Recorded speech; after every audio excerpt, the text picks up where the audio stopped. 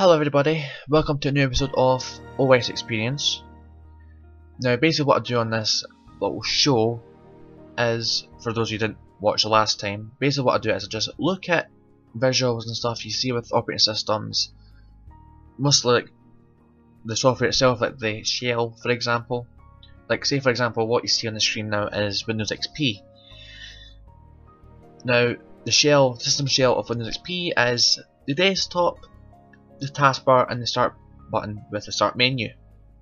Now, you probably think I'm just looking at Windows XP today, but no, I'm actually going to show you something completely different, something interesting. Now, you've probably read the title by, by this point, but here we go, I'm just going to show you this. Now, I'm just going to now I'm actually using this in a virtual machine, which is the reason why it was a bit small and everything kind of weird.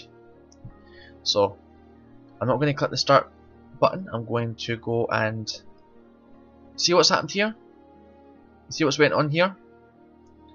I've got a charms bar coming up. And why I've got a charms bar coming up? Well, let's click start. Oh, this paste.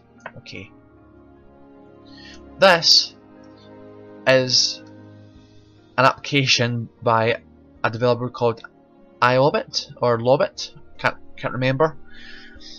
Basically, what this is is a start menu kind of program uh, for versions of Windows under Windows 8, and it gives the experience of what it'd be like if Windows XP, Windows 7, and Windows Vista had the experience of Windows 8. So it gives a kind of start screen kind of thing as you can see here. And here it is here. Now basically what, what you see here is got start menu text but it's not in the same font that they use for Windows 8 it's actually I think it's just a Arial or some other similar font could be a Microsoft font I'm not sure got the name this this functions quite well this actual name of the user using the PC, but I don't think you can actually change the. I send you links to the main operating system. Now I'm going to see if this works. Change my picture. Right. Now it doesn't bring if you uh, press the Windows key on the keyboard, it doesn't bring up the iObit start screen. However, you've got the icon here, Win Metro as it's called. And you've also got the charms bar that comes up. So if I go, I'm going to move this to the side. If I, I think if I go to the top, that doesn't work. If I go to the bottom, it works. It brings me up this little charms bar kind of thing. I just close it like that. I'm not sure if you can actually click away from it. it that works as well. So similar to what it is on Windows 8, when you highlight it, it just pops up with the charms as they're called and you have to move the mouse into the charms bar and you get you know all the information you've got bog standard items you've got search the start button and you've also got settings. And here in the center of the screen I can't really move the mouse it'll hide it. You've got the clock. So I'm going to show you I'm going to go back to the start screen here. I don't know why this error keeps coming up. It keeps asking me to insert a disk I don't have a disk. People ask me for the CD of the operating system. And it's got links here I here it is here. Download more free freeware from iObit.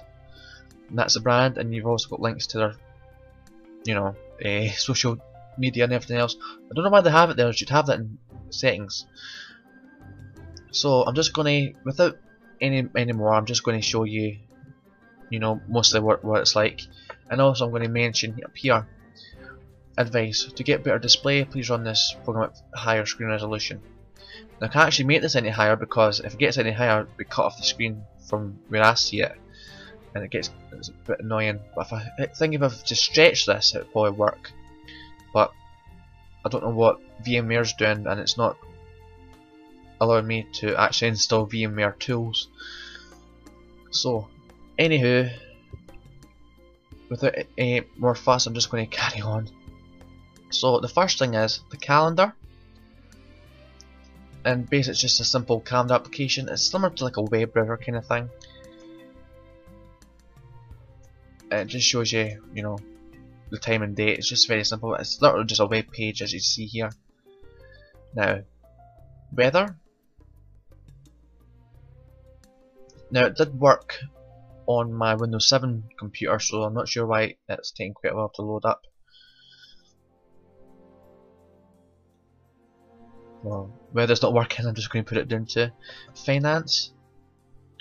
And just similar to like how you'd see the finance app on Windows 8 and Windows 10.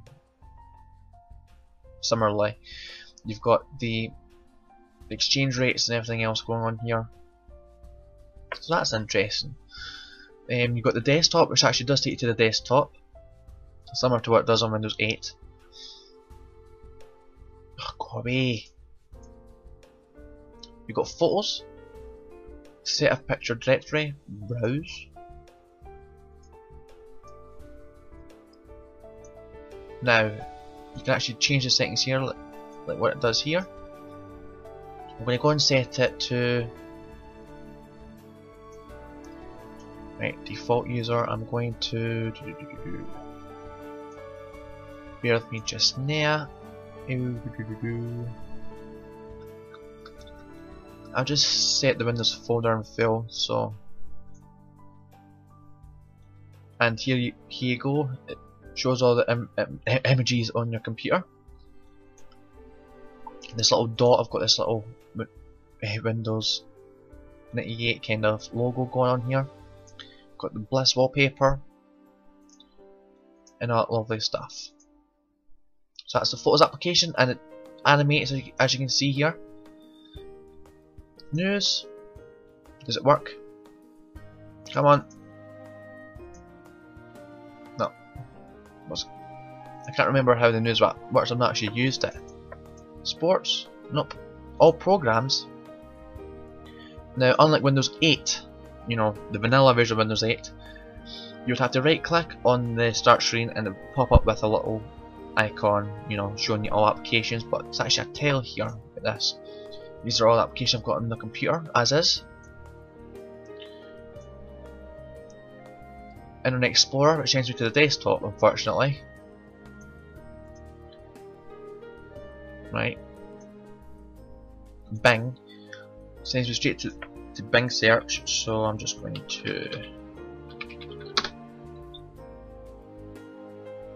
No, wait. Try that again.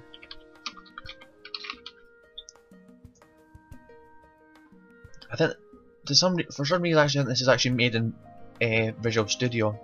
Could be wrong, but I think it is actually made in Visual Studio. I'll find it just now. Come on. It's taking its time.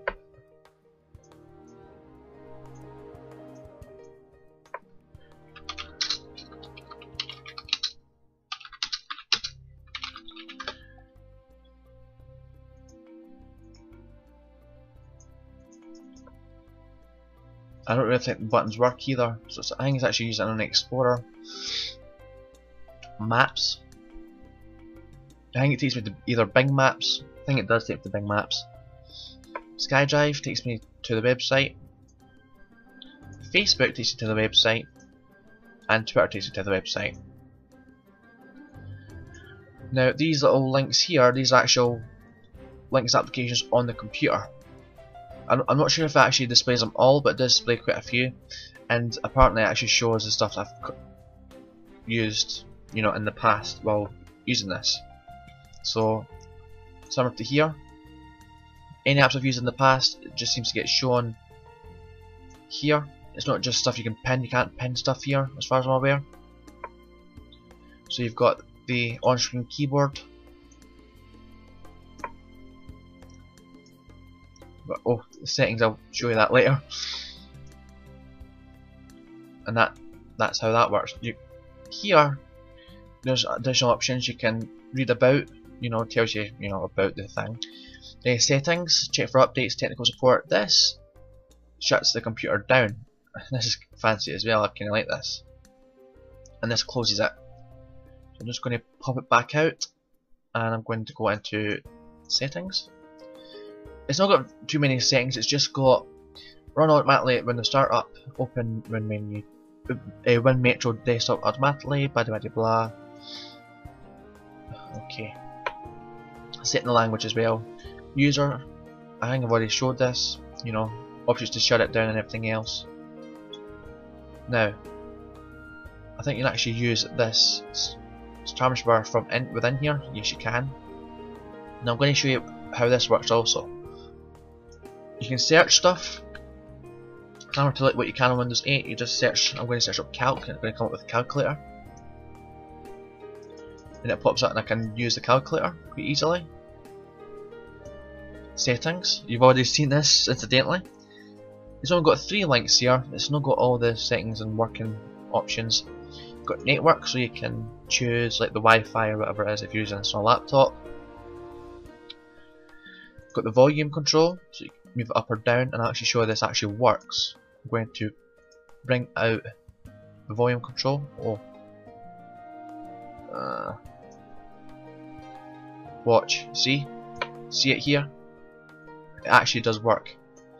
And power doesn't pop up with a little menu like it does on Windows 8, it just pops up uh, through the actual sidebar and you've also got Metro settings.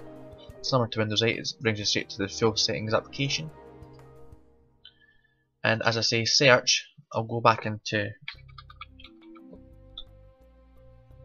and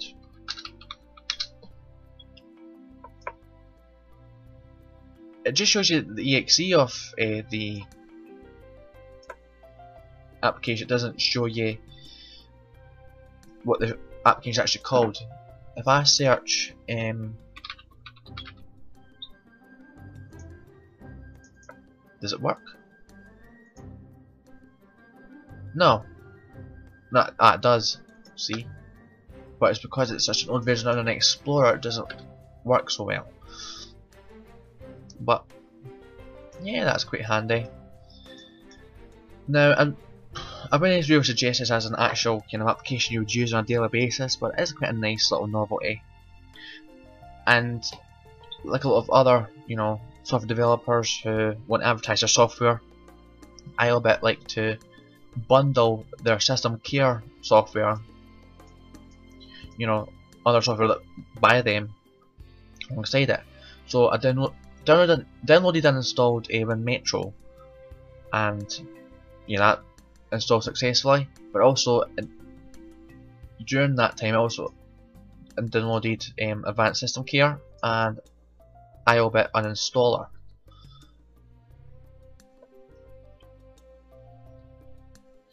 So basically what Uninstaller does is it basically selects all applications it also if you're using Windows 10 it also includes applications you know from the store and you can select to uninstall whatever ones you have but Quite on Windows XP, it's only using the ones that are installed on Windows XP.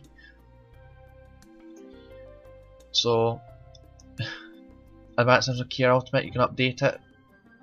I think this 8.1 is actually the latest I think that works on Windows XP. And I've yet to activate it. But I'm not going to activate it because I didn't want to pay for it. but yep, that was iObit uh, Start Win Metro start screen. It's, as I say, it's not really something you'd probably use on a daily basis, but it's, quite a nice novelty. And if you did like Windows 8 and like the start screen of Windows 8, yeah, if you have Windows 7, it also works with Windows 7, it works with Windows Vista. Not Windows 10 because I think it was just designed for Windows 7 and below. So I think trying to install this on Windows 8.1 would actually not work and I know that because I've tasted it on Windows 10 it just comes up with errors so I'm Ricky and I'm going to shut this computer down and I will see you in the next OS Experience episode bye bye